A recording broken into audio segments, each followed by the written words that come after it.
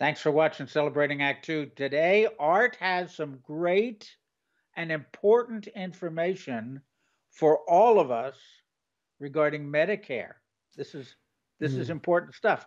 Now, Art, uh, you're aware, as everybody else is, I hope, that we're currently on Celebrating Act Two, airing our 10 part series with Aaron Zollbrod right. about Medicare insurance and the pitfalls thereof but you just changed your insurance for after how many years?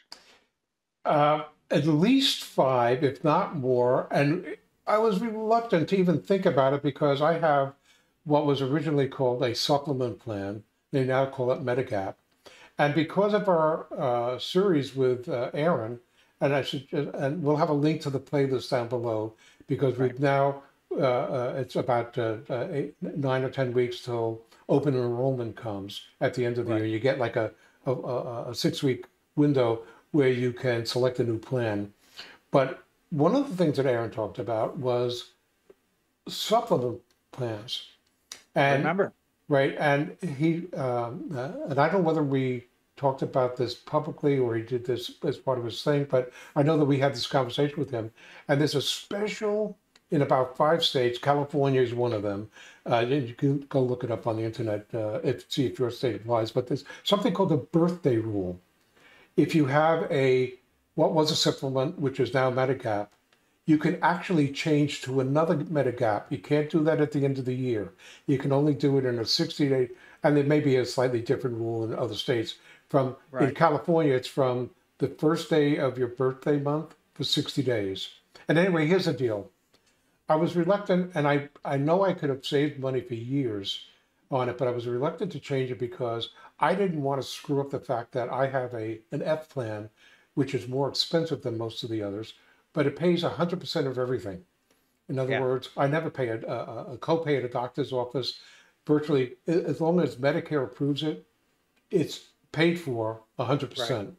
Right. And there's no there's no prescriptions on it. It just it's I think it's part A, part B, all the excess charges. Sure. Well, you're you listen. You're not that unusual. I think most people, you know, once they go through the rigmarole of figuring out what they want, they're just going to stick with it. Right. And I think the insurance companies plan on that, even though they change their prices every year.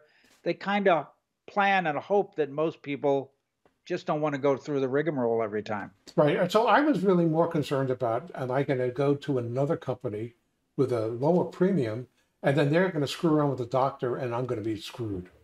Yeah.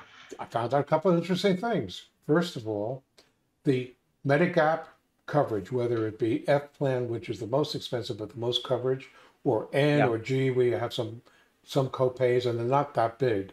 Okay, they don't control what you get paid. Medicare does. So the doctor sends in the thing to Medicare. Medicare sends off to your insurance company, they have to pay it. There's no conversation about it. They have to pay it. I didn't yeah. know that. So, in other words, it's not their decision. All they do is they handle the paperwork.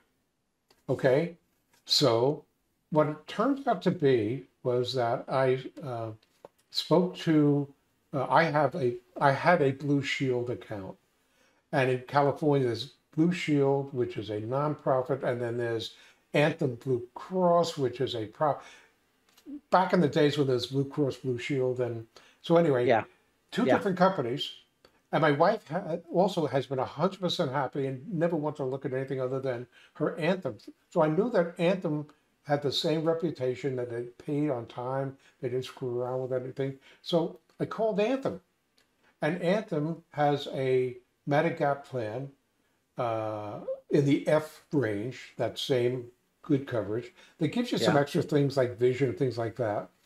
And uh, with a family discount, and their, their, their rate was lower by $100 a month for the wow. same coverage. And I found out the reason why they did it is some of the original F plans have people who are much, much older now, and their costs are increasing.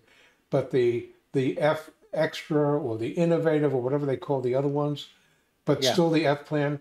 All the coverage was the same except you're in a larger group, in a, a larger group of, uh, in, you know, a younger enrollees, and therefore the rates are a lot lower, even in Blue Shield, which is still the most expensive, the one that I originally had. So in wow. any event, all right. I signed yeah, up. We, signed up. They must take in... you. Hold on, hold on, John.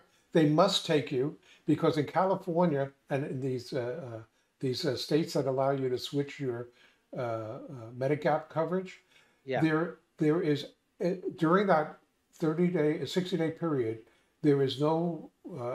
I don't care if you've had hundred operations.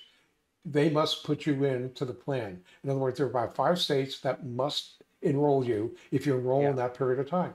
So yeah, but the trick is you got to find out if you're in one of those five right, states. Right. And, and also, by the way, as Aaron said, if uh, when if you're making a decision for the first time, there are some states that if you don't enroll in this Medigap initially, you can never enroll in it. So you need yes. to be very careful. And yeah. uh, there are people who help. Aaron will help you. He's licensed in a lot of states, uh, and even in California, there is a uh, a government-funded uh, insurance uh, uh, advisory group that doesn't sell insurance. When you go to the internet and you look up Medicare, Medicare, Medigap insurance, yeah. that actually sends you to an insurance agent who's going to point you to one place or another, okay, because they're making a commission. And that's okay. It doesn't cost you anything except they may put you in the wrong place. So watch the Aaron Zolbrod uh, series on right. Medicare because that'll tell you the pluses and minuses of supplements yeah. versus advantage plans and all the other things in between. Right. Now, um, this is our disclaimer. Even though Art's story is fascinating, and I'm glad you saved a hundred bucks a month, Art, that's great.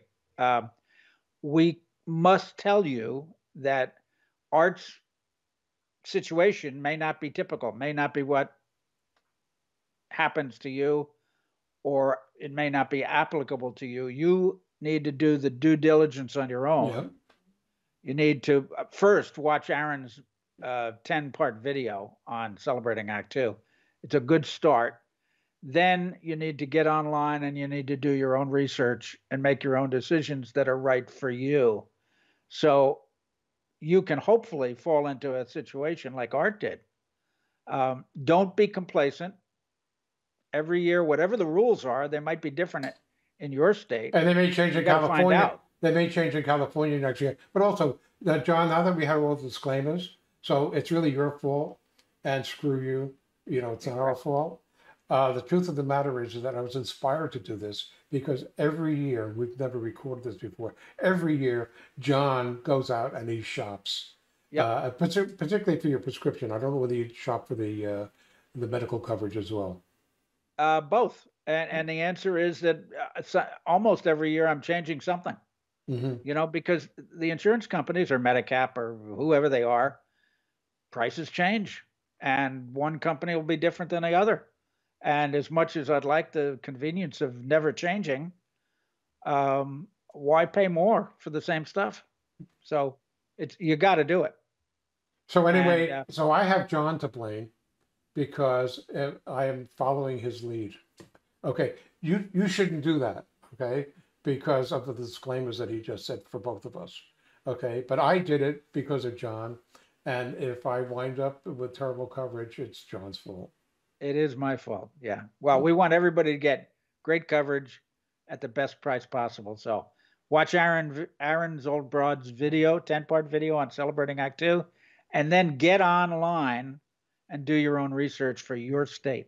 Right. And we'll have some links down below to the playlist for uh, him and also also for the um, uh, the uh, governmental agency, we're going to give you some things for California that yeah. I just recently used, and then yeah.